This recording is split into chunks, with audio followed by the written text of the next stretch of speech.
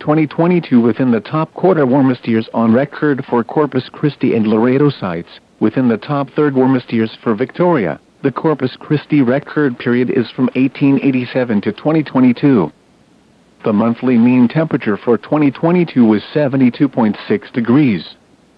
This makes 2022 the 26th warmest year on record. The total precipitation for 2022 was 25.83 inches. This makes 2022 the 60th driest year on record. The Victoria record period is from 1893 to 2022. The monthly mean temperature for 2022 was 71.3 degrees. This makes 2022 the 22nd warmest year on record.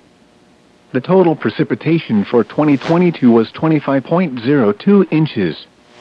This makes 2022 the 15th driest year on record. The Laredo record period is from 1887 to 2022. The monthly mean temperature for 2022 was 75.1 degrees. This makes 2022 the 21st warmest year on record. The total precipitation for 2022 was 16.30 inches. This makes 2022 the 45th driest year on record.